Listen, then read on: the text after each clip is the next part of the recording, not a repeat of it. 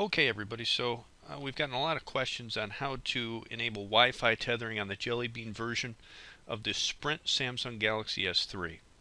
As you know, the Jelly Bean broke the Wi-Fi tethering uh, that most apps use, and so we have to use a custom ROM in order to enable it. Word of caution, this ROM is only for the Sprint version of the Galaxy S3. If you use it on any other variant, you'll brick your phone. So we have a Galaxy S3 here. It already has a custom Jelly Bean ROM on it. Uh, obviously, Wi-Fi tethering doesn't work. So we're going to put a ROM on it that uh, does allow the Wi-Fi tethering. This same method can be used to uh, put the custom ROM onto your stock Sprint S3. Same exact method.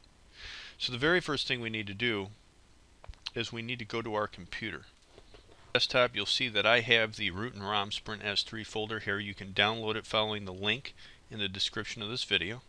So I'll double click that and you'll see that we have the uh, recovery and we have a custom ROM. This custom ROM needs to go onto either the internal SD card or an external SD card for your phone.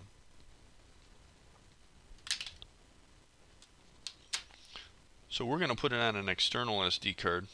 So what we'll do is if we go back to the phone and plug it in.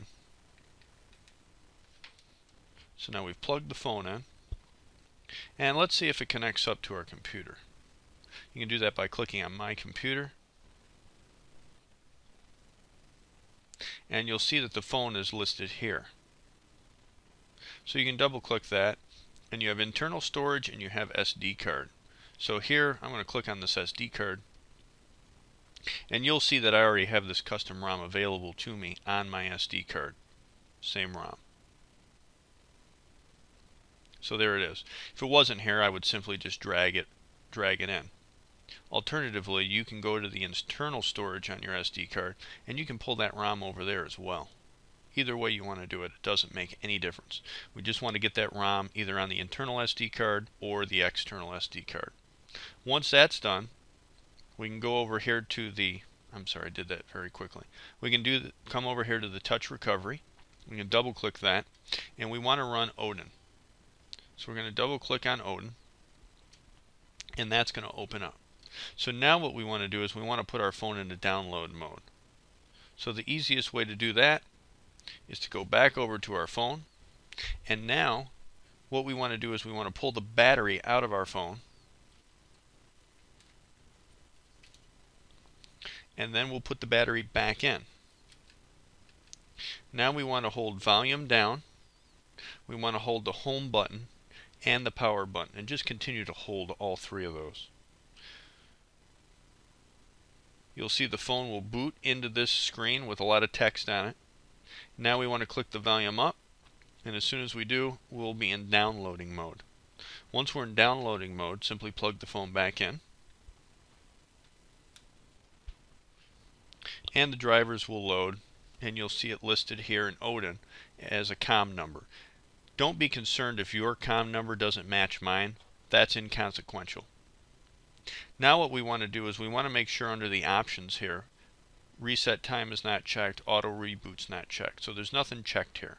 Then we want to go over to the PDA section of Odin. Click on that. It should open you up to this tar file right here. Remember we're in the uh,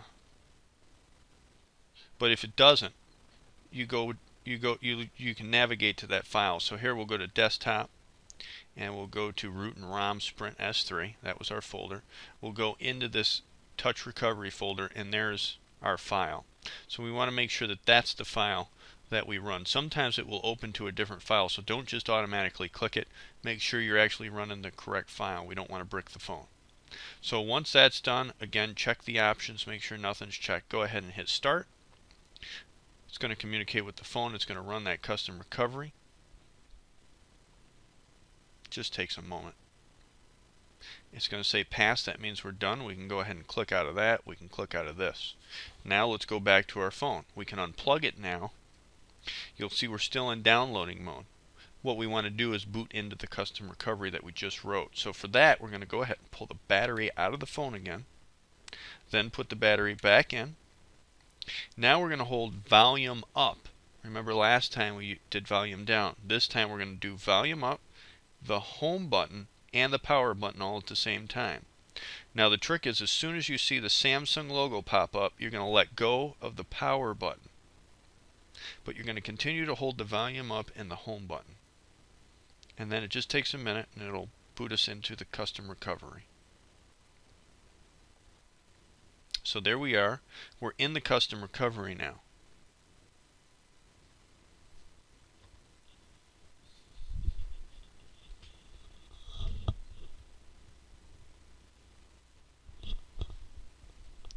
So now in the custom recovery, we want to click wipe factory reset and then we'll click delete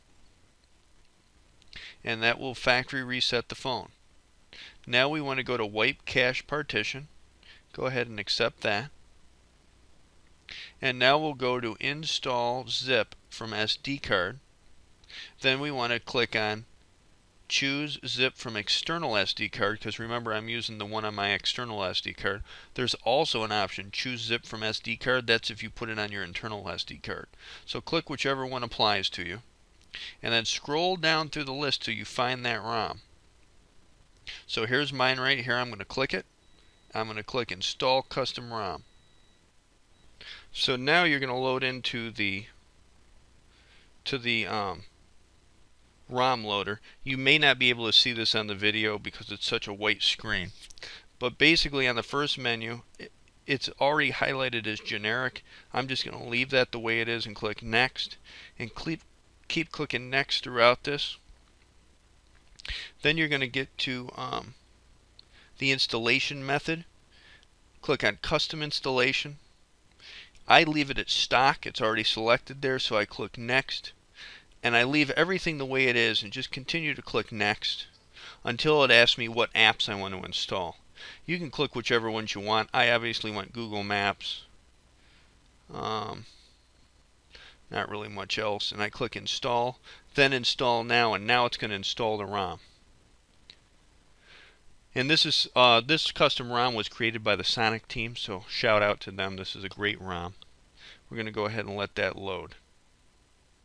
So once it's done installing, just click, it'll say reboot, just go ahead and click next, and let that reboot all the way back up.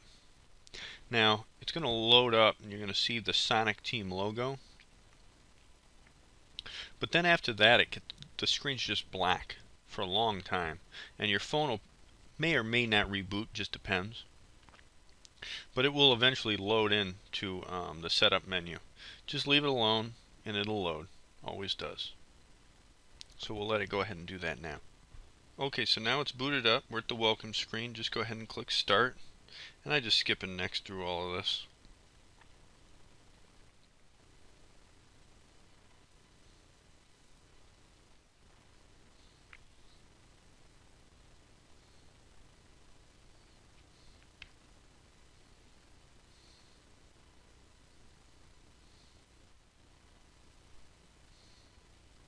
Alright, so now we're at the home screen. And you can change the uh, background. Uh, set wallpaper. Home and lock screens.